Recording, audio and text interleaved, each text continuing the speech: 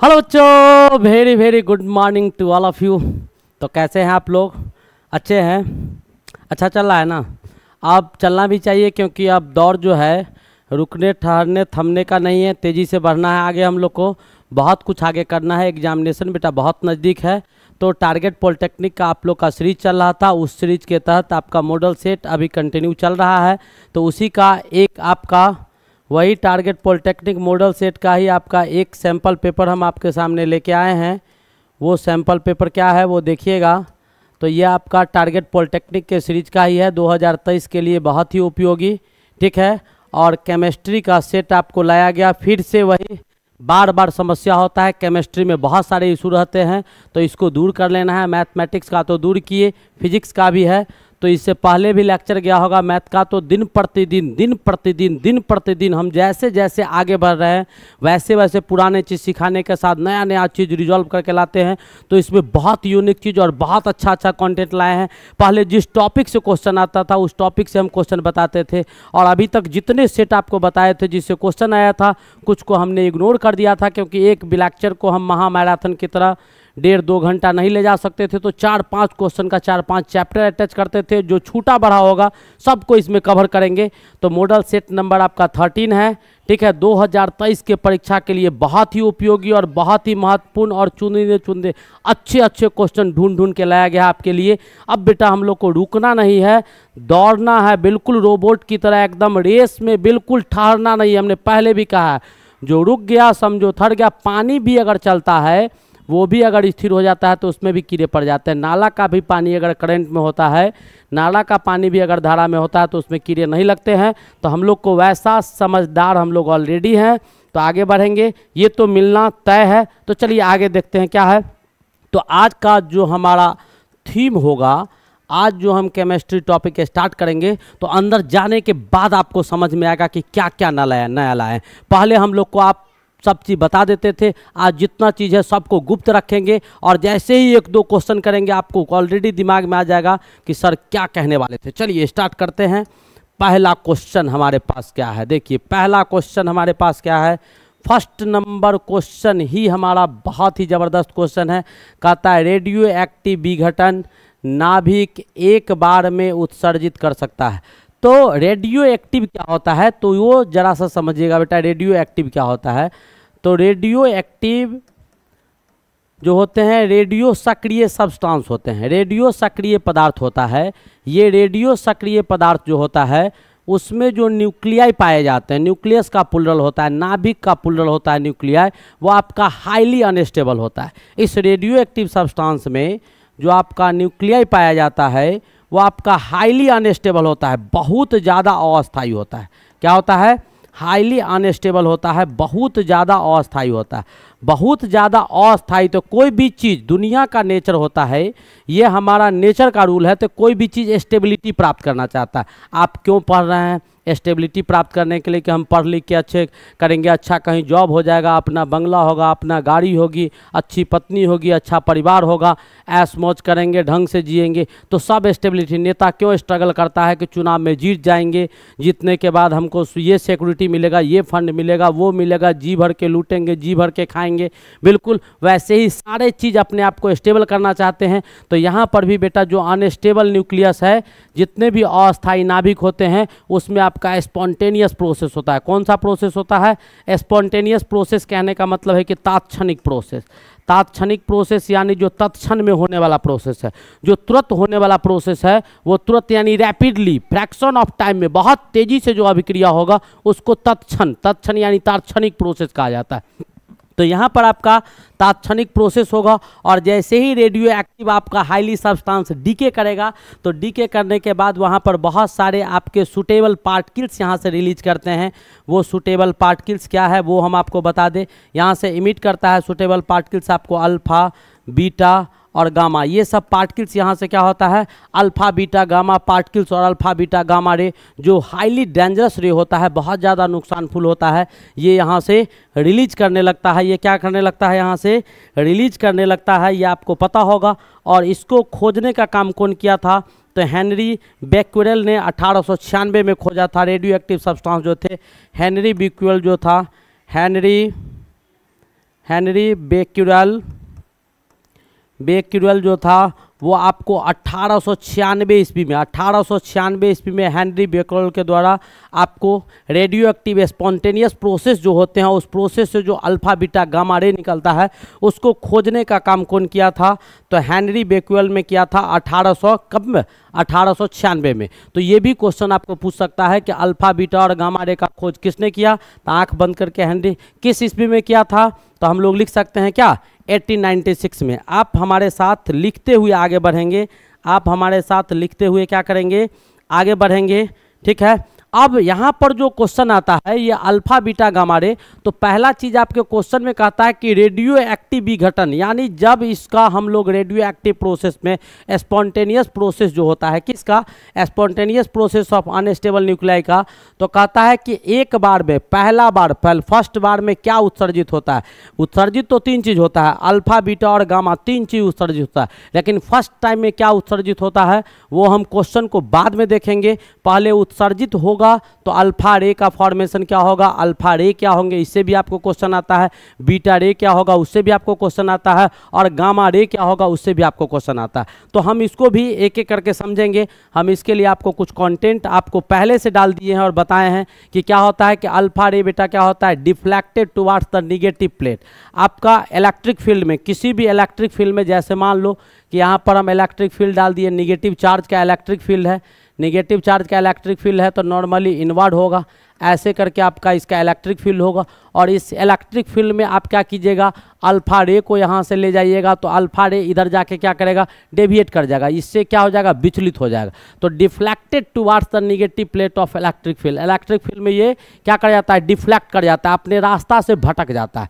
जब negative charge को, जैसे मान लो मान लो हम अल्फ़ा रे हैं तो हम अल्फ़ा पार्टिकल जा रहे हैं? जा रहे हैं हमारे बगल में, हमारे बगल में, या हमारे सामने क्या आ जाएगा? जैसे ही हमारे सामने आपको गाड़ी के सामने में कोई आदमी खड़ा हो जाता है तो आप गाड़ी कैसे मोड़ लेते हैं? वैसे ही हम अगर अल्फ़ा पार्टिकल से और हम अगर दौड़ रहे हैं तो हमारे सामने निगेटिव चार्ज पार्टिकल से आएगा? तो हम उससे टकराएँगे नहीं। हम उससे क्या हो जाएँगे? हम वहाँ से अपना रास्ता चेंज कर देंगे और वहाँ से अपने रास्ते से भटक जाएँगे तो डिफ्लेक्ट करता है towards negative charge of electroplate जब डिस्कवरी इलेक्ट्रॉन का हुआ था, उसमें भी आपको कौन? Discovery of electron Thomson discovery of electron कौन किया था? थॉमसन ने खोजा था। तो थॉमसन क्या था? ये, ज़रा दिमाग से बीच कर रहा है। तो डिस्कवरी ऑफ़ इलेक्ट्रॉन में जो कैथोड रे एक्सपेरिमेंट करवाया गया था, उसमें इसका इस्तेमाल किया गया था। तुम्हारा बीटा रे जो होता है, वो भी डिफ्लेक्ट करता है इलेक्ट्रिक फ़ील्ड में। लेकिन कब? जब ये पॉजिटिव चार्ज होगा तो इसका इलेक्ट्रिक फ़ील्ड नॉर्मली इनवर्ड होगा 90 डिग्री का कोण बना के। अंदर की ओर होगा और जब मान लो कि हम ही बिटा रहे हैं और इधर से दौड़ रहे हैं और सामने क्या आ जाएगा? पॉजिटिव चार्ज पार्टिकल्स आएगा तो हम उससे टकराएँगे नहीं। हम वहाँ से क्या हो जाएँगे? हम वहाँ से विचलित हो जाएँगे तो इसका डिफ्लेक्शन होता है। दूसरा पॉइंट कहता है कि प्रत्येक अल्फ़ा पार्टिकल्स जो होते हैं प्रत्येक जो अल्फ़ा पार्टिकल्स होता है, वो अपने साथ दो पॉजिटिव चार्ज को और फोर यूनिट मास, यानी चार यूनिट मास निगेटिव चार्ज, चार यूनिट मास को धोता ढोता है और दो पॉजिटिव चार्ज को अपने साथ लेके जाता है। प्रत्येक अल्फ़ा पार्टिकल्स दो यूनिट पॉजिटिव चार्ज और चार यूनिट मास को ढोने का काम करता है, जबकि प्रत्येक आपका बीटा पार्टिकल्स जो होता है, वो प्रत्येक बीटा पार्टिकल्स आपका एक निगेटिव चार्ज को ढोता है और मास को नहीं ढोता है। इलेक्ट्रॉन को ढोता है ये तो इलेक्ट्रॉन का मास नेग्लेजेबल होता है, क्योंकि इलेक्ट्रॉन का मास होता कितना है? तो nine point one into ten to the power minus thirty one के ये बहुत छोटा होता है, इसलिए कहता है कि बीटा पार्टिकल्स जो होते हैं, वो एक निगेटिव चार्ज को ढोता है निगेटिव चार्ज का मास नहीं होता है। ये क्या करता है? दो पॉजिटिव चार्ज को ढोता है इलेक्ट्रॉन का मास कितना होता है? तो one point six seven two into ten to the power minus twenty four K G या फिर minus twenty seven minus twenty seven gram ठीक है? तो ये आपका जो कहानी इसका दिया गया है माइनस ट्वेंटी सेवन के जी और माइनस ट्वेंटी फोर ग्राम अब कहता है कि ये जो आपका दो तो ये दो पॉजिटिव चार्ज को ढोया और चार यूनिट मास को ढोया अब कहता है कि ये एक निगेटिव चार्ज को ढोता है और नेग्लेजेबल मास को ढोता है, जैसे मास ऑफ़ इलेक्ट्रॉन ये आपका डबली आयोनाइज हमने रदर के एक्सपेरिमेंट में आपको समझाया था, जरा याद होगा, हम यहाँ पर दिखा दें कि रदर क्या किया था कि हीलियम पार्टिकल्स जो था, इसको आयोनाइज किया था। तो हीलियम का एटॉमिक नंबर कितना होता है? दो होता है और एटॉमिक मास कितना होता है? फोर होता है। जब एक इलेक्ट्रॉन को इससे निकाला तो एच प्लस में चेंज किया। जब फॉर्ट ने क्या किया? दूसरा इलेक्ट्रॉन के यहाँ से निकाला। जैसे ही दूसरा इलेक्ट्रॉन को यहाँ से निकाला तो यहाँ से बहुत सारे रे क्या हो रहे थे? बाहर निकल रहे थे। बहुत सारे रे यहाँ से बाहर हो रहे थे और इसी रे को क्या नाम दिया था? अल्फ़ा रे। रदर फोर्ट ने इसका क्या नाम रखा था? अल्फ़ा रे नाम रखा था या अल्फ़ा पार्टिकल्स नाम रखा था। नेक्स्ट देखिएगा। आगे। ये इसका कहानी था। दूसरा कहता है produces maximum ionisation of gases due to kinetic energy अब जो अल्फ़ा पार्टिकल्स बाहर निकलता है, उसके पास बेटा बहुत काइनेटिक एनर्जी होता है। काइनेटिक एनर्जी क्या होता है? Half M B square mass भी है उसके पास और बहुत ज़्यादा वेलोसिटी होता है। वो कैथोड एक्सपेरिमेंट पर हम बहुत अच्छी तरह से समझाएँ। तो कहता है कि उसका मास ज़्यादा होता है। मास भी होता है इलेक्ट्रॉन की अपेक्षा तो ज़्यादा होता ही है और उसका वेलोसिटी ज़्यादा होता है तो बहुत ज़्यादा काइनेटिक एनर्जी होता है। और जब काइनेटिक एनर्जी होगा तो जितने भी गैसेस गैसियस पार्टिकल्स उसके बीच में रास्ते में आते हैं। सारे गैसियस पार्टिकल्स को आयोनाइज कर देता है। सारे गैसियस पार्टिकल्स से इलेक्ट्रॉन को बाहर निकाल देता है। सारे गैसियस पार्टिकल्स क्या हो जाते हैं? आयोनाइज हो जाते हैं। सारे गैस के गैसियस पार्टिकल्स क्या हो जाते हैं? आयोनाइज, दो चार्ज पार्टिकल्स है, उस पर आयंस को चढ़ा देता है। क्योंकि गैस तो वो इलेक्ट्रॉन तो देगा नहीं, इलेक्ट्रॉन लेगा, गैस है नॉन मेटल है। तो सारे गैस पार्टिकल्स को मैक्सिमम आयोनाइज करने का काम कौन करता है? ये ये आपका produces less ionisation. Gases, alpha particles के कंपेरिजन में, बीटा पार्टिकल्स भी गैस को आयंस के फॉर्म में बदलता है, लेकिन अल्फ़ा पार्टिकल्स के कंपेरिजन में कम बदलता है। पेनेट्रेशन पावर किसी भी चीज़ में चुभने की शक्ति, जैसे हम एक्सरे को तुम्हारे सामने से गुजार दे, आप लोग एक्सरे करवाने जाते हैं। आप देखते होंगे कि जब आप एक्सरे करवाते हैं तो एक्सरे जिस पार्ट का करना होगा, उसका कर लेगा। बच्चा है, थोड़ा सा डेविएट कर जाएगा तो कहेगा, कुछ देर बैठिए, फिर करते ठीक है? कुछ देर बाद फिर करेगा। तीसरा बार भी आप गलती कर दीजिएगा तो कहेगा, आज नहीं करेंगे एक्सरे कल आइएगा, कल हम आपका एक्सरे कर देंगे। ऐसा क्यों कहता है आप लोग जानते हैं? क्योंकि वो हाईली पावरफुल रे होता है। ज़्यादा देर तक उस रे को आपके बॉडी से अगर गुजारेगा, आप देखो ना कि कितना पावरफुल है। जब हम टॉर्च जलाते हैं तो हमारा हाथ का परछाई बनता है। और जब हम यहाँ पर एक्सरे को पास पास करवाते हैं तो जो मसल्स है, उसको छेद कर देता है। बचता क्या है? हड्डी। तो हड्डी से वो नहीं पास करता है, तब ना पता चल जाता है कि हड्डी कहीं क्रेक है या टूटा हुआ है। और हड्डी में जहाँ पर स्क्रेच भी होगा, उस छोटा सा स्क्रेच का हिस्सा से भी वो पास करता है। वो जब पास करता है तभी तो पता चलता है कि यहाँ पर चनका हुआ है, हड्डी यहाँ पर क्रेक किया हुआ है। और जहाँ टूटा हुआ रहता है, वहाँ से वो बिल्कुल गुजर जाता है। ऐसे अगर मान लो कि हमारा टॉर्च से ही होता है तो क्या होता है? ऐसे कर लेते, ऐसे करके टॉर्च जलाते, ऐसे करके टॉर्च जला लेते और देख लेते कि कहाँ हड्डी क्या फ्रैक्चर है तो लोग अपने बना भी सकता था।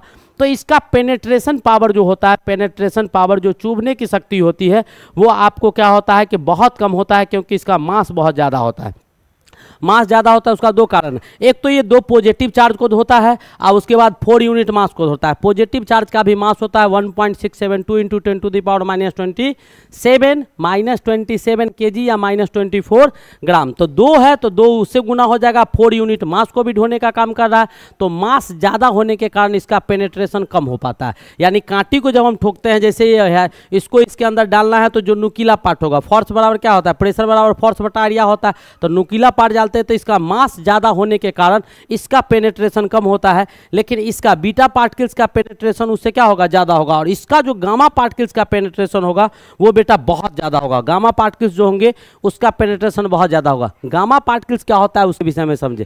क्या कहता है? Electromagnetic radiations of very high frequency even more than the alpha ray X-ray का जो फ्रीक्वेंसी होता है एक्सरे जो होता है, हमारा एक्स किरण जो होता है, उसके आवृत्ति से बहुत ज़्यादा आवृत्ति आपका किसका होता है? गामा रे का, और ये आपका इलेक्ट्रोमैग्नेटिक रेडिएशन होता है, दोनों गुण। यानी इलेक्ट्रिक गुण भी और मैग्नेटिक गुण भी पाया गया है, और बहुत ही पावरफुल रे होता है। दस अल्फ़ा रे हैव नो चार्ज अब कहता है कि गामा रे गामा रे के पास क्या होता है? न इसके पास कोई चार्ज होता है, न किसके पास कोई मास होता है। तो आपको पता होगा कि चार्ज और मास किसी वस्तु के पास नहीं होगा, किसी सब्सटेंस के पास नहीं होगा तो वो क्या हो सकता है? तो कहता है कि not deflected from their path either electric और मैग्नेटिक फ़ील्ड ठीक है?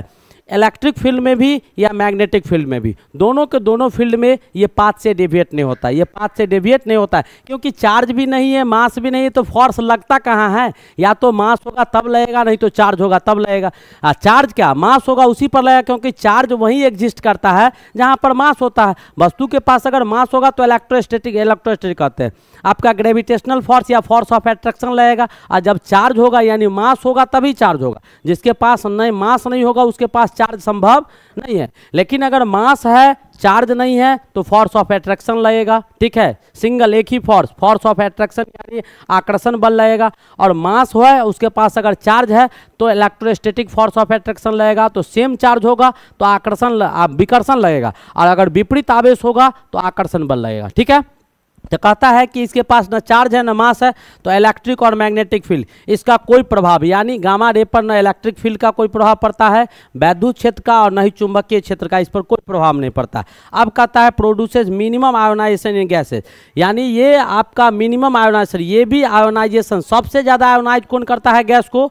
तो सबसे ज़्यादा अल्फ़ा रे करता है, उसके बाद बीटा रे करता है then after gamma ray gamma ray सबसे कम करता है। लेकिन पेनेट्रेशन पावर सबसे कम, किसी भी चीज़ में चुभने का और छेदने का जो शक्ति होगा, वो सबसे ज़्यादा अल्फ़ा पार्टिकल्स का होगा। उसके बाद बीटा का, उसके बाद उसके बाद बीटा का, यानी उससे ज़्यादा बीटा का, और बीटा से ज़्यादा कौन सा पार्टिकल्स का होगा? गामा का होगा। एक चीज़ और जिससे आपको क्वेश्चन पूछता है, मैं आपको बता दूँ कि ये भी रेडिएशन है तो चूँकि लाइट है, लाइट रेडियंस एनर्जी का फॉर्म होता है तो ये भी रेडिएशन आपको दिया हुआ है। तो ये जो आपका वेलोसिटी होता है बेटा, किसका? अल्फ़ा रे का जो वेलोसिटी होता है, वो वेलोसिटी ऑफ़ लाइट का कितना गुना होता है? अल्फ़ा रे का वेलोसिटी। आपको अगर पूछ देगा कहीं भी वेलोसिटी किसका निकालने के लिए? अल्फ़ा रेखा जैसे यहाँ पर जगह हम लिखते हैं। वेलोसिटी किसका? अल्फ़ा रेखा तो अल्फ़ा रेखा वेलोसिटी स्पीड ऑफ़ लाइट कितना होता है? Three into ten to the power eight metre per second का कितना हिस्सा? दसवां हिस्सा, यानी three into ten to the power seven metre per second alpha ray का स्पीड ऑफ़ लाइट कितना हो जाएगा? Three into ten to the power seven metre per second ऐसा क्यों हुआ? क्योंकि वेलोसिटी जो अल्फ़ा रे का होता है अल्फ़ा किरण का जो वेलोसिटी होता है, वो आपको वेलोसिटी ऑफ़ लाइट का एक बटा दस गुना होता है। कितना होता है? एक बट्टा दस गुना होता है, इसीलिए इसका वेलोसिटी इतना हो गया। नेक्स्ट आगे देखिएगा। आगे क्या कहता है? कि ये emission of one beta particles from unstable nucleus resulting in the increase in the number of protons by unit क्या कहता है कि जब कोई भी एक न्यूक्लियाई यानी जब कोई न्यूक्लियाई आपका ब्रेक करता है न्यूक्लियाई आपका टूटता है न्यूक्लियाई का रेडियो एक्टिव डीके होता है, जब रेडियो एक्टिव डीके होगा किसी भी न्यूक्लियाई का, अगर वहाँ से बीटा पार्टिकल्स निकलेगा तो वहाँ से एक प्रोटॉन बाहर निकलेगा। वहाँ से क्या होगा? इंक्रीज उसमें एक प्रोटॉन आपका बढ़ जाएगा। उसमें क्या हो जाएगा? एक प्रोटॉन आपका बढ़ जाएगा। कब? जब आप कोई भी अल्फ़ा यानी रेडियो सक्रिय कोई भी पदार्थ का डिकेइंग होता है, अपघटन होता है, जब वो टूटता है तो वहाँ से आपको बीटा रे बाहर निकल रहा है। इट मीन्स कि उसमें एक प्रोटॉन का संख्या बढ़ रहा है, एक प्रोटॉन का संख्या बढ़ रहा है। तो वेलोसिटी, इसके कंपेरिजन, इसका वेलोसिटी और गामा रे का जो वेलोसिटी होता है, वो भी हम आपको समझा दें कि गामा रे जो होगा, गामा रे का जो वेलोसिटी होगा, वो स्पीड ऑफ़ लाइट के बराबर होता है। यानी जो आपसे पूछेगा अगर क्वेश्चन में पूछ दे कि गामा रे का वेलोसिटी क्या होगा तो जो स्पीड ऑफ़ लाइट का वेलोसिटी होगा। तो स्पीड ऑफ़ लाइट का वेलोसिटी क्या दिया हुआ है? Three into ten three into ten to the power eight metre per second तो गामा रे का भी वेलोसिटी क्या होगा? Three into ten to the power एक मीटर पर सेकेंड अब बेटा जरा चर्चा कर लेते हैं यहाँ पर आप देखिएगा कि अल्फ़ा पार्टिकल्स क्या होता है? न्यूक्लियर अनस्टेबिलिटी क्या होता है? न्यूक्लियर हमने इससे पहले भी बहुत सारे आपको कम्बिनेशन का रूल बताया था।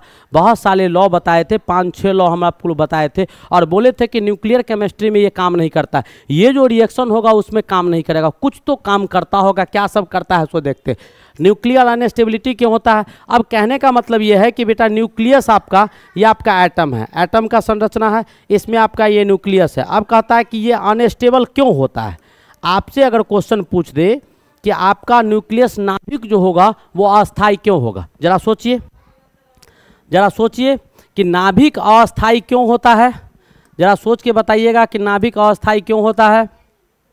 क्यों होता है नाभिक अस्थाई नाभिक अस्थाई इसलिए होता है क्योंकि नाभिक का साइज़ तो हम पहले बताए थे डिस्कवरी जो किया था, कौन किया था? रदर फोर्ट ने इसको खोजा था। किसके? डिस्कवरी ऑफ़ न्यूक्लियस या अल्फ़ा स्केटरिंग एक्सपेरिमेंट की मदद से खोजा था। अल्फ़ा प्रकीर्णन प्रयोग या फिर नाभिक का खोज नाम दिया गया था, जिसको रदर प्रयोग करवाया था। नाभिक को खोजा तो बोला कि न्यूक्लियस के जो एटम होता है, परमाणु के केंद्र में केंद्र में होता नहीं है, लेकिन मान लिया था कि परमाणु के सेंटर पर, केंद्र में एक बहुत ही छोटा छोटा सा पार्टिकल्स होता है, जो बहुत ज़्यादा हार्ड होता है, कठोर होता है, बहुत ज़्यादा डेंस घना होता है रिजिड होता है, अडिग होता है, जिसके सेप साइज़ को हम नहीं बदल सकते हैं और उससे अल्फ़ा रे भी पास नहीं कर सकता है, टकरा के इधर उधर चला जाता है।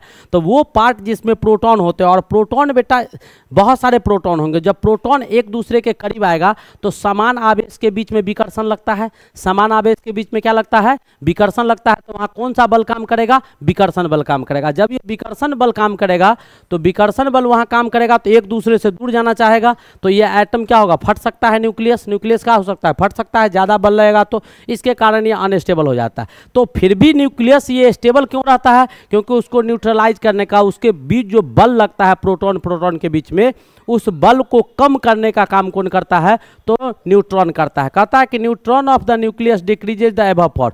ऊपर जो प्रोटॉन प्रोटॉन के बीच में बल लग रहा है, उस बल को घटाने का काम न्यूट्रॉन करता है, जो किसमें पाया जाता है? न्यूक्लियस में ही पाया जाता है। आप कहता है so stability of nucleus depends upon the ratio कितना नंबर ऑफ़ प्रोटॉन तो कोई भी न्यूक्लियस कितना ज़्यादा अस्थायी होगा, ये तब पता चलेगा जब न्यूट्रॉन और प्रोटॉन का रेशियो निकालेंगे। तो स्टेबिलिटी के लिए न्यूट्रॉन और प्रोटॉन का रेशियो कोई भी न्यूट्रॉन न्यूक्लियस आपका स्टेबल है तब न्यूट्रॉन और प्रोटॉन का ratio one is to six होगा, यानी सिक्स प्रोटॉन तो उस पर कम से कम एक न्यूट्रॉन आपको कहीं पाया जाता है न्यूक्लियस में छः प्रोटॉन पर एगो न्यूट्रॉन अगर कहीं पाया जाता है नाभिक में इट मीन्स कि वो स्टेबल होगा। अगर छः गो दस गो प्रोटॉन है, आ एक गो न्यूट्रॉन है तो यानी वो अनस्टेबल हो जाएगा। दोनों का रेशियो होना चाहिए, एक कंडीशनल आपका बुक लिखता है कि नाइट्रॉन और प्रोटॉन, न्यूट्रॉन और प्रोटॉन का ratio one is to six है, इसका मतलब ये स्टेबल होता है। गामा रे का speed of light velocity of light के बराबर होता है। तो आप लोग को ये पता चल गया हो कि रेडियो एक्टिव डीके क्या होता है। अब जरा सा हम आपको बता दें कि दोनों तीनों का कहानी तो आपको इससे पहले तो एक क्वेश्चन हम करवाए थे।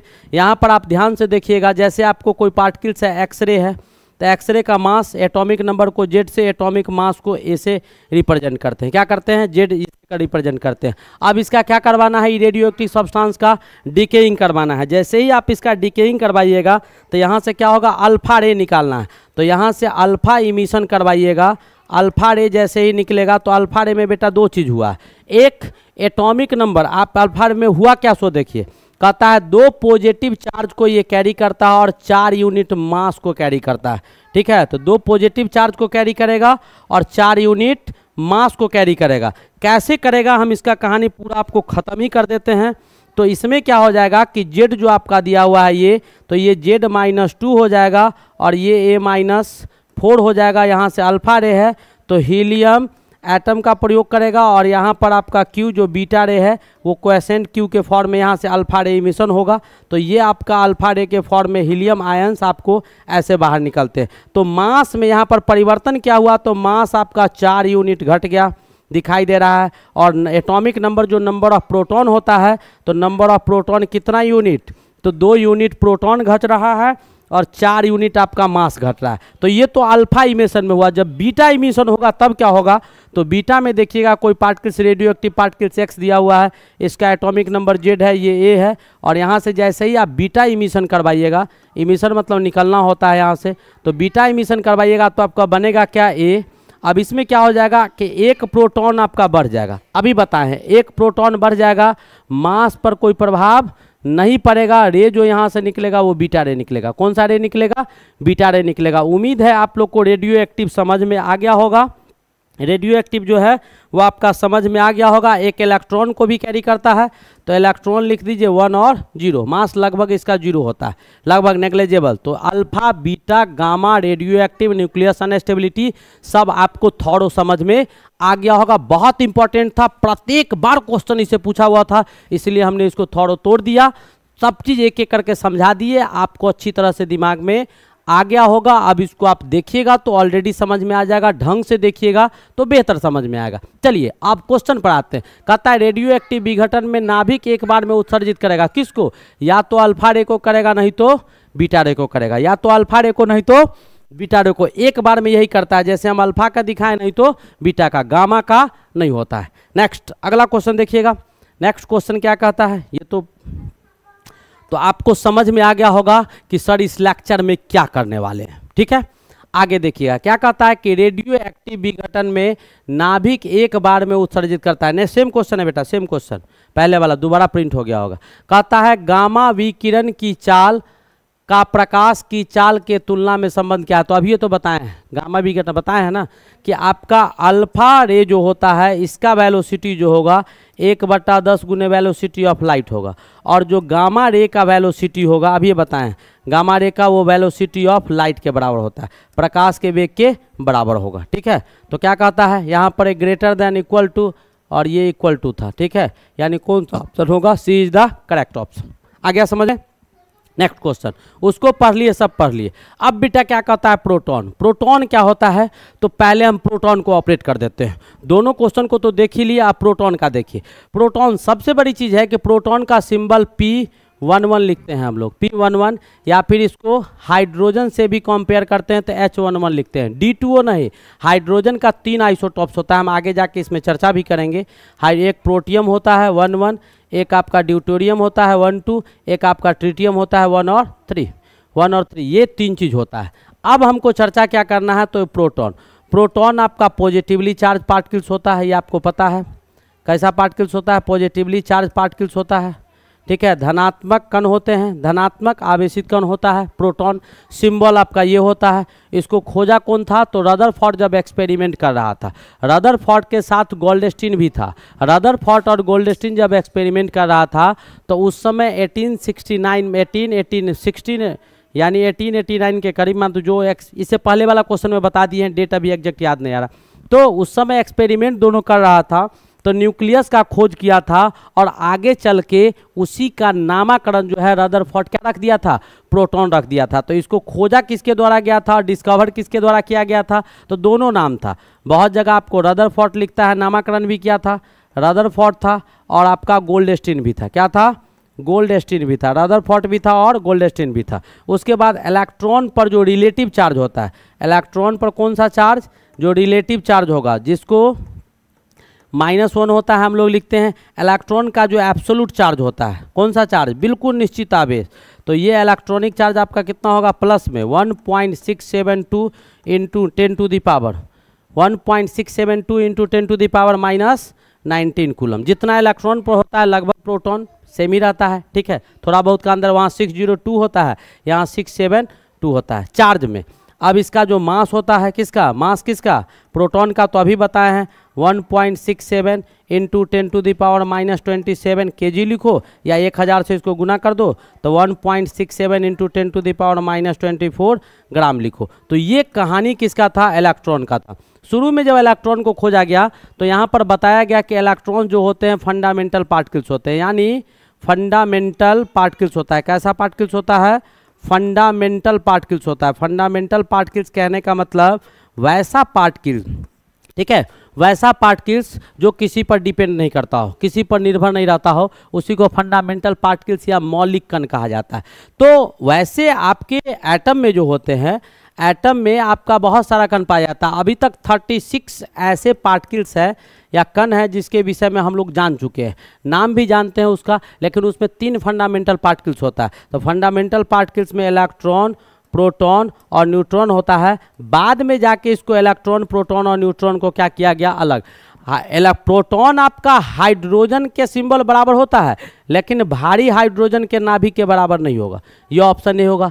धनावेशित होता है तो प्रोटॉन है। अब कहता है एक मूलभूत कण कौन सा कण? एक मूलभूत कण आपका प्रोटॉन है। ठीक है? धनावेशित तो बहुत सारे होते हैं। एक मूलभूत कण आपका क्या है? प्रोटॉन है। समझ में आया? ये था प्रोटॉन का कहानी, पूरा कुंडली आपको प्रोटॉन का हम आपके सामने रख दिए। चलिए, अगला क्वेश्चन देखते हैं।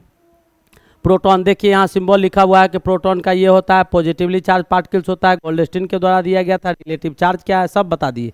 ठीक है, इलेक्ट्रॉन्स जो होते हैं, रिलेटिव चार्ज यहाँ देख लेते हैं, माइनस वन लिख दिए, हमको लग रहा था गलती की, प्लस वन। ये आपका मास जो होता है, क्या होता है, ये सब आपको लिखने के लिए दे दिए थे कि अपना लिख लीजिएगा। अब कहता है, देखिए, क्या कहता है, नेक्स्ट क्वेश्चन देखिएगा आगे क्या कहता है? एक धातु के तीन ऑक्साइड्स एक आपका मेटल है, जिसका कितना ऑक्साइड है? तीन ऑक्साइड है। प्रत्येक में धातु की मात्रा क्रमशः इतना दिया गया है, इतना इतना और इतना। तीन ऑक्साइड दिया हुआ है मेटल का और आंकड़ा दिया गया है। तो अब बेटा क्या करेंगे उसको ध्यान से देखेगा कि 76 पॉइंट, कितना लिखा हुआ है? 76.47 76.47 मेटल प्रेजेंट इन इतना क्या था? तथा इतना ग्राम। अच्छा इतना मेटल प्रेजेंट इन कितना? इतना मेटल आपका एक धातु के तीन ऑक्साइड्स है। प्रत्येक में धातु की मात्रा क्रमशः इतना इतना इतना है। तो 100 परसेंट में 76.43 है तो ऑक्सीजन इसमें कितना होगा?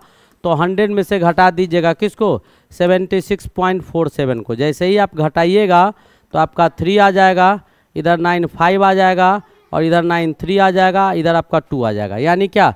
Present in twenty point twenty twenty three point twenty three point five three gram oxygen इतना ग्राम ऑक्सीजन में इतना ग्राम मान लेते हैं कि इतना ग्राम मेटल जो है, इतना ग्राम ऑक्सीजन में पाया गया है। तो हंड्रेड ग्राम मेटल कितना में पाया जाएगा? तो hundred gram metal present in कितना? तो twenty three point five three upon seventy six point four seven आई इंटू हंड्रेड इतना ऑक्सीजन में पाया जाएगा। यूनिटी मेथड से निकाल दिए। बिल्कुल सिमिलरली उसी पैटर्न से हम क्या करेंगे? दूसरा आपका दिया हुआ है सिक्सटी वन पॉइंट कितना? सेवन एट परसेंट धातु जो है, वो कितना में पाया जाएगा? तो हंड्रेड में से घटा दीजिए इसको भी। इसको भी क्या कीजिए? हंड्रेड में से घटाइए। हंड्रेड में से किसको घटाना है? Sixty one point seven eight को। घटाइएगा तो क्या आएगा? ये टू टू आ जाएगा। इधर नाइन में से एट आ गया और इधर कितना? थ्री आ गया। तो कितना में? Thirty three point two two gram oxygen में पाया गया। इतना ग्राम ऑक्सीजन में इतना मेटल पाया गया। दूसरा का तो हंड्रेड ग्राम में कितना? एक में कितना हो जाएगा? हंड्रेड में कितना हो जाएगा? तो thirty three point two two upon sixty one point seven eight into hundred इतना ग्राम ऑक्सीजन हो गया। तीसरा भी आपका दिया हुआ है फिफ्टी वन पॉइंट ऐसे ही लिखेंगे सिमिलरली सिमिलरली करके डालेंगे, ये क्या है? Fifty one point six eight percent fifty one point six एक ग्राम डाल देते हैं। इतना में कितना? तो घटा दो हंड्रेड में से इसको भी। जब हंड्रेड में से घटाइएगा तो fifty one point six eight में से हंड्रेड में से इसको घटाना है। तो कितना हो जाएगा? ये टू ये थ्री अभी कितना आ जाएगा? एट और ये कितना आ जाएगा? Four forty eight point forty eight point three two gram आपका ऑक्सीजन है।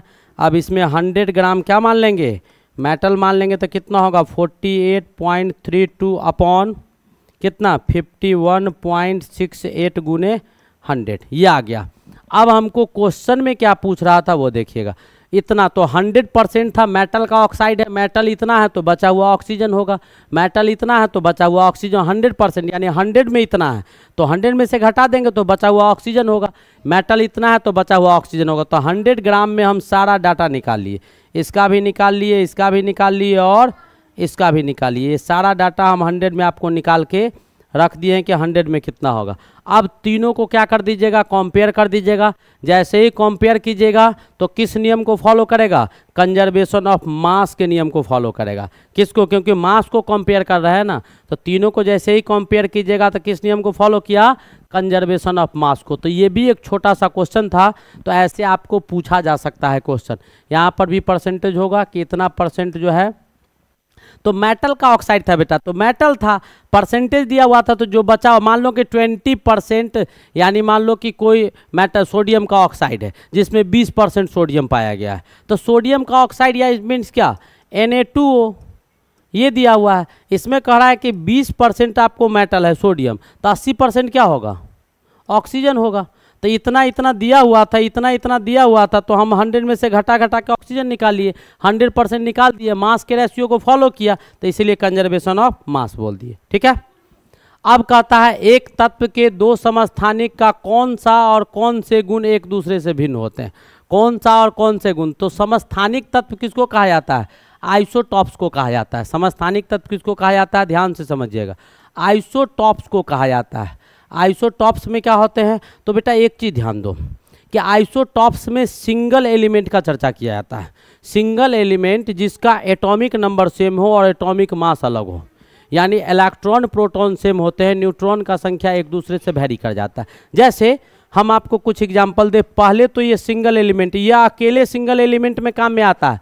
बाद बाकी सब में एलिमेंट डिफर करता है। अभी हम बहुत कुछ आपको चर्चा करके बताएँगे इसके विषय में, जिससे आपको बदल बदल के क्वेश्चन पूछता है। आज के बाद आपका एक भी क्वेश्चन छूटने वाला नहीं है। ये शारदा वाला कह रहा है। ये शारदा वाला कह रहा है और शारदा वाला जो बोलता है वो करके दिखाता है। ये आपको आइडिया हो गया होगा। आप हमारे साथ बने हुए हैं।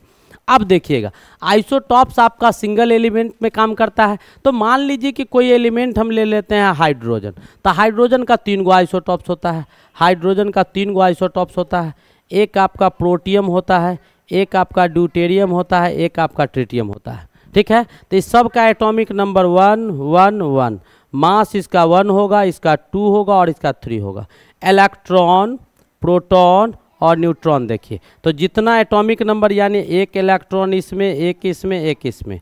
प्रोटॉन एक एक एक। एटॉमिक मास में से एटॉमिक नंबर को घटाते हैं तो नंबर ऑफ़ न्यूट्रॉन। वन में से वन गया ज़ीरो, टू में से वन गया वन, और थ्री में से वन गया, ये उल्टा लिखा हुआ है, गलत लिखा हुआ है। लेफ़्ट साइड लिखाएगा, वो राइट साइड लिख सकते हैं, टू। तो कहाँ वैरी किया? न्यूट्रॉन में वैरी किया। तो दूसरे शब्दों में हम ऐसा बोल सकते हैं कि किसी भी एलिमेंट का वह रूप सिंगल एलिमेंट होता है, किसी भी एलिमेंट का वह रूप जिसमें इलेक्ट्रॉन और प्रोटॉन सेम होता है, नंबर ऑफ़ न्यूट्रॉन वैरी कर जाता है। नंबर ऑफ़ न्यूट्रॉन वैरी कर जाता है या न्यूक्लियर चार्ज में वेरिएशन आ जाते हैं। ठीक है? ये हम लिख सकते हैं। अब इसके बाद और भी ले लो, जैसे आपका कार्बन ले लेते हैं। तो कार्बन का सिक्स ट्वेल्व कार्बन का सिक्स थर्टीन कार्बन का सिक्स फोर्टीन ये हो गया। अब देखिए, इसमें भी देखिए एटॉमिक नंबर सेम है, सब जगह दिखाई दे रहा होगा। एटॉमिक मास तो इलेक्ट्रॉन प्रोटॉन और न्यूट्रॉन तो इसमें छः इलेक्ट्रॉन छः इलेक्ट्रॉन छः इलेक्ट्रॉन छः प्रोटॉन छः प्रोटॉन छः प्रोटॉन एटॉमिक नंबर प्रोटॉन होता है, जितना प्रोटॉन उतना ही इलेक्ट्रॉन या न्यूट्रॉन बारह में से छः गया छः तेरह में से छः गया सात, और चौदह में से छः गया आठ। कहाँ वैरी किया? नंबर ऑफ़ न्यूट्रॉन में। कोई दिक्कत? नंबर ऑफ़ न्यूट्रॉन में। वैसे ही आप देख लीजिए, क्लोरीन का ले लेते हैं। तो chlorine seventeen, thirty five. Chlorine seventeen, thirty seven. अब यहाँ पर देखिए, ये दोनों एटॉमिक नंबर सेम है, एटॉमिक मास वेरी कर रहा है। इलेक्ट्रॉन सत्रह इलेक्ट्रॉन सत्रह। प्रोटॉन आपका कितना? सत्रह सत्रह। न्यूट्रॉन आपका कितना? पैंतीस में सत्रह गया तो अठारह, और सैंतीस में सत्रह गया तो कितना आ गया? बीस। कहाँ वैरी किया? न्यूट्रॉन में वैरी किया। वैसे ही एक और एग्ज़ाम्पल ले लेते हैं। जैसे ऑक्सीजन है ऑक्सीजन है, ऑक्सीजन तीन गो आइसोटॉप्स होता है, आठ सोलह, आठ सत्रह और आठ अठारह। आठ सोलह, आठ सत्रह और आठ अठारह। अब इसमें इलेक्ट्रॉन, प्रोटॉन और न्यूट्रॉन आप लोग देखिए। देखिए इसमें इलेक्ट्रॉन, प्रोटॉन, न्यूट्रॉन, जल्दी निकाल के बताओ, कितना होगा? तो जितना एटॉमिक नंबर, इलेक्ट्रॉन कितना? आठ गो आठ गो आठ गो। आ प्रोटॉन कितना हो जाएगा? आठ गो आठ गो आठ गो। आ न्यूट्रॉन कितना हो जाएगा? सोलह में से आठ गया आठ, सत्रह में से आठ गया नौ और अठारह में से आठ गया दस। तो आठ, नौ, दस। तो ये कुछ आपके आइसोटॉप्स थे जो सिंगल एलिमेंट का होता है। उम्मीद है आपको समझ में आ गया होगा। जल्दी छापिए, हम कुछ और बताने वाले हैं। जल्दी छापिए।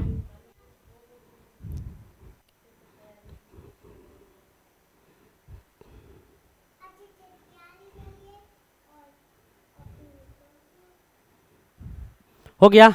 अब देखिए आइसोटॉप्स के बाद हमारा दूसरा चीज़ क्या आता है? आइसो बार आता है। मिटाते हैं। अब देखिएगा, दूसरा हमारा क्या आता है? आइसो बार आता है। इसको बेटा ढंग से समझिएगा। कुछ आपके टर्म है जिससे क्वेश्चन बराबर पूछा जाता है। आइसो बार होता है। आइसो बार को हम लोग समभारिक बोलते हैं। समभारिक मतलब समान भार वाला। क्या वाला? समान भार वाला। तो ये डिफरेंट एलिमेंट में काम करता है। किसमें काम करता है? डिफरेंट एलिमेंट में, वो सेम एलिमेंट में काम करता था, एक ही एलिमेंट में, ये डिफरेंट एलिमेंट में काम करता है। इसका एटॉमिक नंबर जो होगा, एटॉमिक नंबर वो चेंज करेगा, ठीक है? वो वैरी करेगा। और इसका एटॉमिक मास जो होगा, एटॉमिक मास वो आपका क्या करेगा? सेम रहेगा सेम रहेगा। यानी क्या? सम ऑफ़ प्रोटॉन और प्लस न्यूट्रॉन। प्रोटॉन और न्यूट्रॉन क्या होगा? ऑलवेज सेम रहेगा। इसका जो होगा, प्रोटॉन और न्यूट्रॉन क्या होगा? ऑलवेज सेम होगा, हमेशा सेम रहता है। प्रोटॉन और न्यूट्रॉन इसका हमेशा सेम रहेगा, ठीक है? जैसे हम एक एग्ज़ाम्पल लेते हैं, हम एक एग्ज़ाम्पल लेते हैं। जैसे आप एग्ज़ाम्पल अलग अलग एलिमेंट का लेना है तो आप एलिमेंट का एग्ज़ाम्पल ले सकते हैं। जैसे हाइड्रोजन को ले लो और हीलियम को ले लो। किसको ले लो? हाइड्रोजन को ले लो और हीलियम को ले लो। एटॉमिक मास सेम है एटॉमिक नंबर क्या कर रहा है? डिफर कर रहा है। तो जैसे हम हाइड्रोजन को लिए और हीलियम को लिए तो हाइड्रोजन का वन, हाइड्रोजन का एटॉमिक नंबर वन और एटॉमिक मास आपका मान लेते हैं थ्री है। और हीलियम का टू और एटॉमिक मास कितना हो गया? हीलियम का एटॉमिक मास कितना हो गया? थ्री हो गया। हीलियम का एटॉमिक मास कितना हो गया? थ्री हो गया। ये ले लिए। अब इसके बाद जैसे ही आप देखिएगा इसमें तो आपका क्या आएगा? तो इलेक्ट्रॉन आपका एक आएगा, इसमें दो आएगा। प्रोटॉन इसमें एक आएगा, इसमें दो आएगा। और न्यूट्रॉन अगर देखिएगा तो इसका दो आएगा और इसका कितना आएगा? एक आएगा। दो और एक आएगा। तो वेरिएशन कहाँ से आते हैं? तो इलेक्ट्रॉन प्रोटॉन और न्यूट्रॉन ये आपका इलेक्ट्रॉन प्रोटॉन न्यूट्रॉन तीनों अलग होता है। इलेक्ट्रॉन का संख्या इसमें एक है इलेक्ट्रॉन का दो है। देख रहे हैं इलेक्ट्रॉन भी डिफर कर रहा है प्रोटॉन भी डिफर कर रहा है और न्यूट्रॉन भी डिफर कर रहा है। यानी तीनों। तो लिख सकते हैं कि ये सेम होता है but electron proton and neutron all differs all differs सारे के सारे क्या होंगे? एक दूसरे से भिन्न होंगे। तो आइसो बार में ना इलेक्ट्रॉन सेम होता है, ना प्रोटॉन सेम होता है, ना न्यूट्रॉन सेम होता है। आप जो पढ़े होंगे तो एग्जैक्ट चीज़ कैलकुलेशन में आपका यही इस्तेमाल में आएगा। और दूसरा चीज़ बेटा ये याद रखेंगे प्रोटॉन और न्यूट्रॉन जो होता है, उसका सम सेम होता है। प्रोटॉन और न्यूट्रॉन का संख्या नहीं सेम होता है। ठीक है? और इसका एक और एग्ज़ाम्पल हम लोग ले लें। तो और क्लियर हो जाएगा कॉन्सेप्ट हमारा, बहुत बेहतर रहेगा। पोटेशियम और कैल्शियम का ले लो। जैसे मान लो कि पोटेशियम का 19 हो गया 40 हो गया, और कैल्शियम का 20 और 40 हो गया 20 और 40 हो गया। मास आपका सेम है, मास सेम है, नंबर अब देखिए, इलेक्ट्रॉन इसमें कितना हो गया तो इसमें उन्नीस गो हुआ, इसमें बीस गो हुआ, भैरी कर गया। प्रोटॉन देखिएगा, इसमें उन्नीस गो हो गया प्रोटॉन और इसमें कितना हो गया? बीस गो हो गया। और न्यूट्रॉन देखिएगा इसमें तो चालीस में से उन्नीस घटाओ तो इक्कीस गो हो गया। चालीस में से बीस घटाओ तो बीस गो हो गया। तीनों डिफर किया। इलेक्ट्रॉन प्रोटॉन और न्यूट्रॉन तीनों डिफर किया। लेकिन प्रोटॉन और न्यूट्रॉन को जोड़िएगा तो सम चालीस आ रहा है। यहाँ पर भी प्रोटॉन और न्यूट्रॉन को जोड़िएगा तो सम कितना आ रहा है? तीन आ रहा है। सम कितना आ रहा है? तीन आ रहा है क्योंकि ऊपर एटॉमिक मास तीन तीन था, चालीस चालीस है। तो उम्मीद है आइसो बार भी आपको समझ में आ गया होगा। आइसो बार भी क्या आ गया होगा? समझ में आ गया होगा। ठीक है? अब देखिएगा। तो तीसरा टर्म हम स्टार्ट करते हैं, मिटा दे। चलिए, तीसरा टर्म हम बताते हैं आपको। आइसो डायोफर्स क्या होता है? हमने इससे पहले एक सेट करवाया था, उसमें आया था, लेकिन बहुत ज़्यादा समय नहीं मिलने के कारण हम उसको छोड़ दिए थे। अब हमारा अगला टॉपिक है आइसो डायोफर्स आइसो डायोफर्स क्या होता है? तो ये भी डिफरेंट एलिमेंट्स में होते हैं। किसमें होते हैं? डिफरेंट एलिमेंट्स में होते हैं, इसके भी एलिमेंट्स क्या होते हैं? अलग अलग होते हैं। जिसमें नंबर ऑफ़ प्रोटॉन और न्यूट्रॉन का जो डिफरेंस होता है। प्रोटॉन में से न्यूट्रॉन को घटाइएगा तो उसका डिफरेंस क्या आ जाता है? सेम आ जाता है। Different elements having different number of neutrons and protons का डिफरेंस जो होगा, different elements having same number of difference of neutrons and protons, neutrons and protons. जिसके प्रोटॉन्स और न्यूट्रॉन्स का डिफरेंस क्या होता है? वो प्रोटॉन्स और न्यूट्रॉन्स का डिफरेंस आपका सेम होता है। जैसे इसका भी एग्जांपल ले लो, इसका भी एग्जांपल ले लो। बोरॉन कार्बन, जैसे आपका बोरॉन लेते हैं और कार्बन लेते हैं। तो बोरॉन का एटॉमिक नंबर फाइव होगा और कार्बन का एटॉमिक नंबर क्या होगा? सिक्स होगा, ये ट्वेल्व हो जाएगा। और बोरॉन का मास कितना होता है? ज़्यादा जल्दी बताइए। बोरॉन का मास कितना होगा? तो बोरॉन का मास 11 होगा। और कार्बन 13 लेंगे, आइसोटॉप्स। ये आपका 13 ये आपका 11 अब देखिए, इसमें क्या कीजिए? इलेक्ट्रॉन बताइए। तो इलेक्ट्रॉन आपका इसमें कितना आ जाएगा? पाँच ठो, इसमें छः गो। प्रोटॉन बताइए तो पाँच और छः और न्यूट्रॉन बताइए तो हमको इलेक्ट हाँ न्यूट्रॉन बताइए तो न्यूट्रॉन कितना हो जाएगा? ग्यारह में से पाँच गया छः और तेरह में से छः गया सात। अब देखिए, यहाँ पर क्या कीजिए? छः में से पाँच को घटा दीजिए तो वन आ गया। और यहाँ पर न्यूट्रॉन सात है, प्रोटॉन छः है, सात में से छः को घटाइए, एक आ गया। यानी नंबर ऑफ़ न्यूट्रॉन्स क्या हो गए? सेम हो गया तो वैसा तत्व जिसमें अलग अलग एलिमेंट लेते हैं और न्यूट्रॉन का, न्यूट्रॉन में से प्रोटॉन को घटाने पर अंतर समान आ जाता है, उसी को हम लोग क्या बोलते हैं? आइसो डायोफर्स बोलते हैं। क्या बोलते हैं? आइसो डायोफर्स बोलते हैं। अब जैसे नाइट्रोजन है, सात ले लो पंद्रह ले लो, फ्लोरीन ले लो, नौ ले लो, उन्नीस ले लो। अब कितना? इलेक्ट्रॉन आपका कितना? सात गो, ये कितना? नौ गो। उसके बाद प्रोटॉन इसका कितना? सात गो, इसका कितना? नौ गो। अब पंद्रह में से सात गया, ये न्यूट्रॉन कितना गया? आठ गो। अब उन्नीस में से ये गया, कितना गया? दस ठो। अब देखिए, प्रोटॉन में से न्यूट्रॉन, आठ में से सात घटा। आठ में से सात घटा तो कितना गया? वन। और यहाँ पर दस में से नौ घटा तो कितना गया? वन। दिखाई दे रहा है? दोनों में वन वन आ गया तो इसको आइसो डायोफर्स कहा जाता है। क्या कहा जाता है? आइसो डायोफर्स कहा जाता है। हो गया? अगला टर्म देखते हैं। अब देखिए आइसो डायोफर्स के बाद आइसो न्यूट्रॉन्स होते हैं, या आइसो न्यूट्रॉनिक बोलते हैं। ठीक है? उसको हम लोग आइसो न्यूट्रॉनिक अगला टर्म क्या आता है? Iso neutronic iso neutronic iso मतलब सेम। आइसो का मतलब सेम। और न्यूट्रॉनिक का मतलब क्या होगा? न्यूट्रॉनिक का मतलब न्यूट्रॉन्स सेम न्यूट्रॉन जिसमें न्यूट्रॉन का संख्या क्या होगा? सेम होगा. जिसमें किसका संख्या सेम होगा? न्यूट्रॉन का संख्या सेम होगा, उसको आइसो न्यूट्रॉनिक बोलते हैं। जैसे हाइड्रोजन हीलियम ले लो one three two four hydrogen one three और हीलियम टू फोर ले लेते हैं। तो इसमें क्या करो? इसमें नंबर ऑफ़ न्यूट्रॉन तो तीन में से क्या घटा दो? एक घटा दो, कितना आ गया? दो। आ, इसमें निकाल लो तो चार में से दो घटा दो, कितना आ गया? दो। इट मीन्स क्या? नंबर ऑफ़ न्यूट्रॉन जिसके सेम होते हैं, उसी को आइसो न्यूट्रॉनिक तत्व कहा जाता है। क्या कहा जाता है?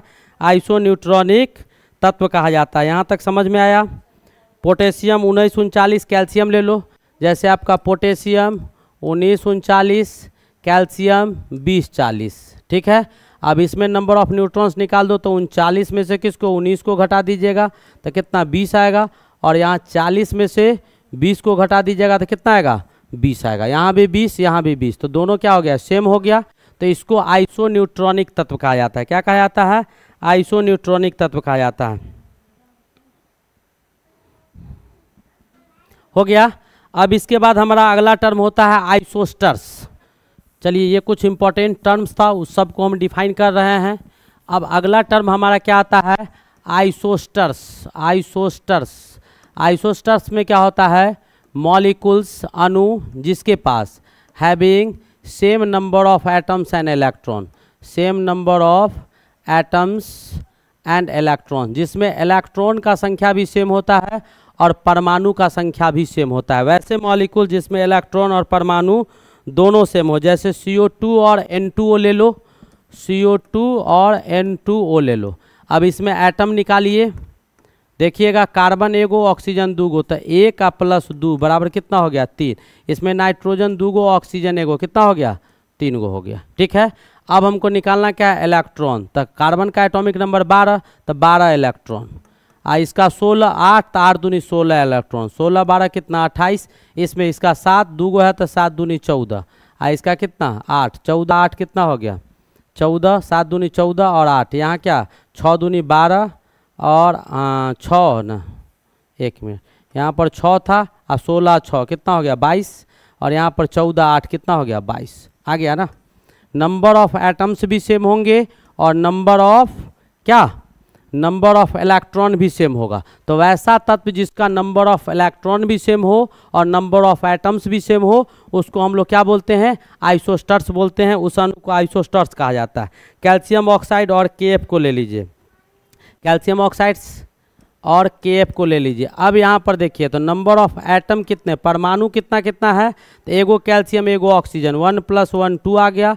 यहाँ पर एक पोटेशियम, एक फ्लोरीन। कितना हो गया? टू आ गया। अब इसके बाद क्या बचा हमारे पास? इलेक्ट्रॉन तो कैल्शियम का एटॉमिक नंबर कितना होता है? कैल्शियम का 20 होता है तो 20 को इलेक्ट्रॉन हो गया, और ऑक्सीजन का 8 होता है तो 8 कितना हो गया? 28 इसका लिखिएगा तो 19 हो गया इसका फ्लोरीन का 9 हो गया 19 और 9 कितना हो गया? 28 तो इलेक्ट्रॉन भी सेम हो, और नंबर ऑफ़ एटम्स भी सेम हो, उसी को क्या कहा जाता है? आइसोस्टर्स कहा जाता है। ये मॉलिकुल्स में काम करता है। किसमें काम करता है? मॉलिकुल्स में काम करता है। अब एक और तत्व है हमारे पास, उसको भी पढ़ लेते हैं, जिसको आइसो इलेक्ट्रॉनिक बोलते हैं। क्या बोलते हैं? आइसो इलेक्ट्रॉनिक एक चीज़ बेटा याद रखो, हम जो भी कॉन्सेप्ट आपको डिलीवर कर रहे हैं eight nine tenth eleven twelfth भी पढ़ लीजिएगा तो इतना कॉन्सेप्ट कोई डिलीवर नहीं करता होगा।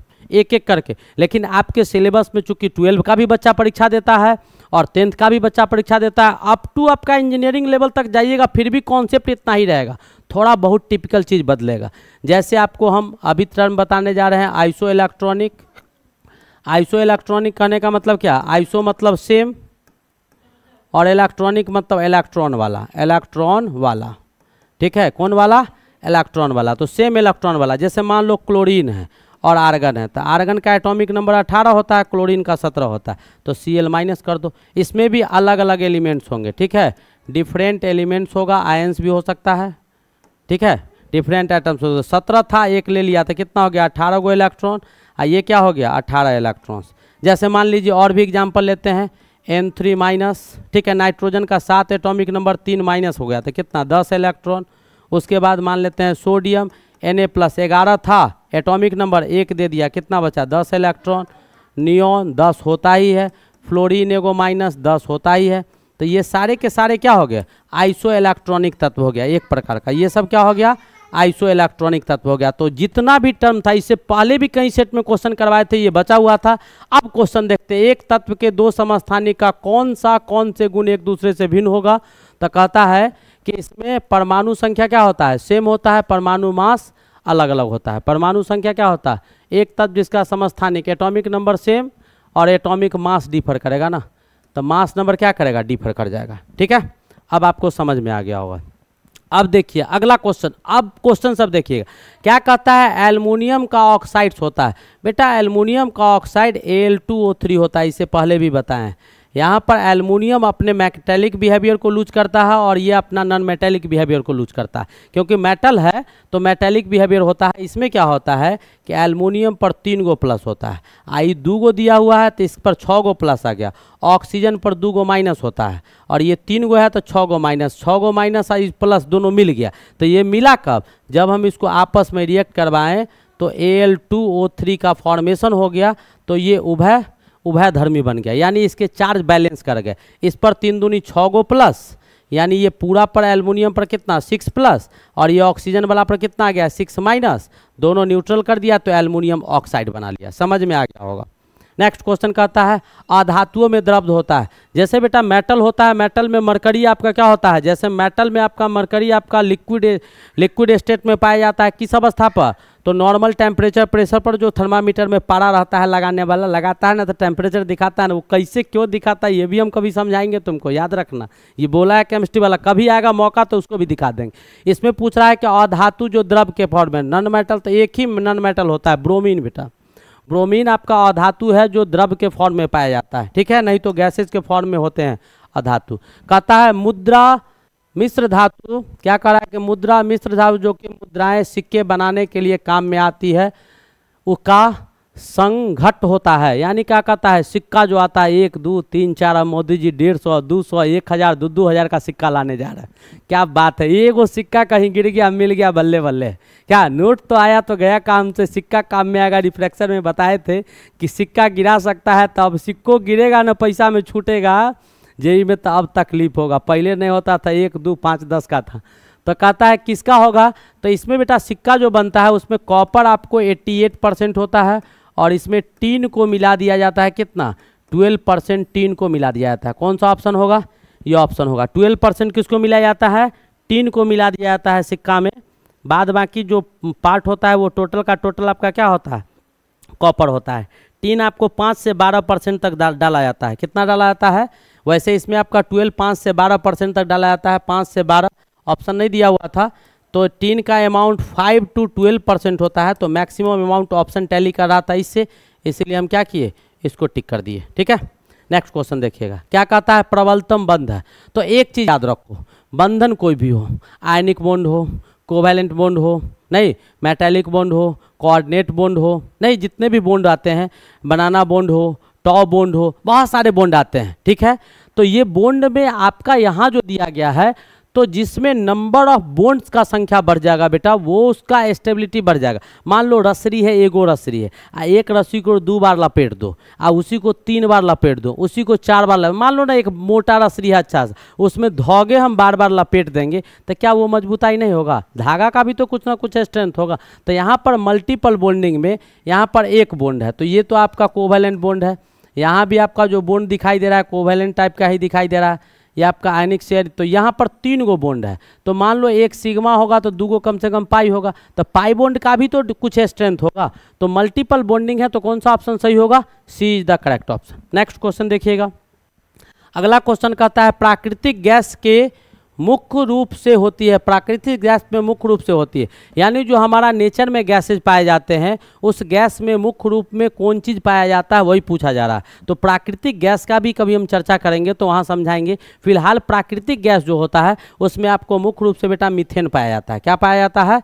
मेथेन आपका पाया जाता है। कौन सा गैस पाया जाता है? तो प्राकृतिक गैस में आपका मुख्य रूप से जो पाया जाता है, मीथेन पाया जाता है। क्या पाया जाता है? मीथेन पाया जाता है। अब नेक्स्ट देखिएगा। अगला क्वेश्चन कहता है कि बिल्डिंग में, अब ये सब तो इनऑर्गेनिक में पढ़ाते हैं, निम्न में से कौन सी गैस प्रयोग की जाती है?